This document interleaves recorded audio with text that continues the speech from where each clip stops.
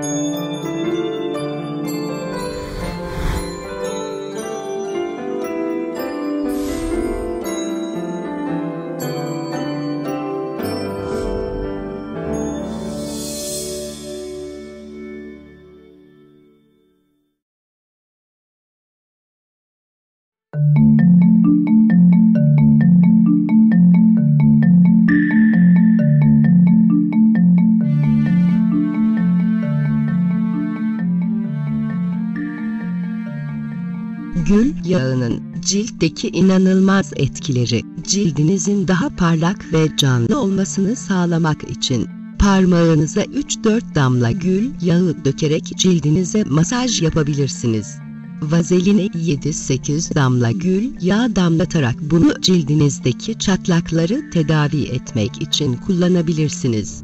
Saçlarınızda kepek problemi var ise şampuanınızın içine 10 damla gül yağı damlatabilirsiniz. Böylece hem saçlarınız beslenecek hem de kepek problemi ortadan kalkacaktır. Banyo suyuna 15 damla gül yağı katarak aromaterapi etkisi yapabilirsiniz. Gül yağı ve zeytinyağını karıştırarak cildinize masaj yapabilirsiniz. Böylece cildinizin ihtiyacı olan nemi almasını sağlarsınız.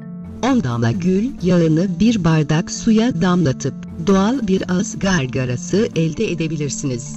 Saç fırçasına 4 damla gül yağı damlatıp saçınızı bu tarakla taradığınız zaman saçlarınız canlanır ve beslenir.